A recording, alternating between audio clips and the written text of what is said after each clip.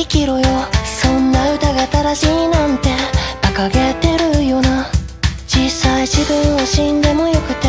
周りが死んだら悲しくて。それが嫌だからっていう。英語なんです。他人が生きてもどうでもよくて。誰かを嫌うこともファッションで。それでも平和に生きようなんて。素敵なことでしょ。う仮面の先では誰かが死んで。それを嘆いて誰かが歌う。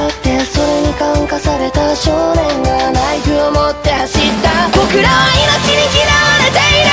価値観も笑顔も押し付けていつも誰か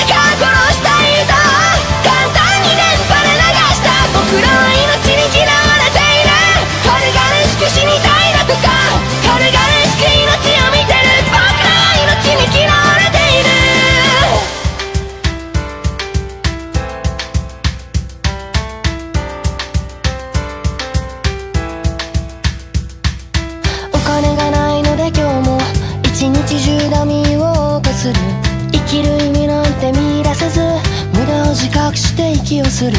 寂しいなんて言葉でこの傷が表せていいものかそんな意地ばかり抱え今日も一人ベッドに眠る少年だった僕たちはいつか青年に変わってゆく年老いていつか枯葉のように誰にも知られず朽ちてゆく。不死身の体を手に入れて一生死なずに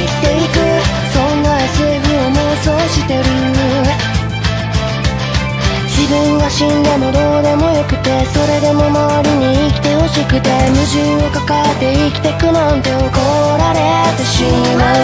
正しいものは正しくいなさい。死にたくないなら生きていなさい。悲しくなるならそれでもいいならずっと一人で笑いよ。僕らは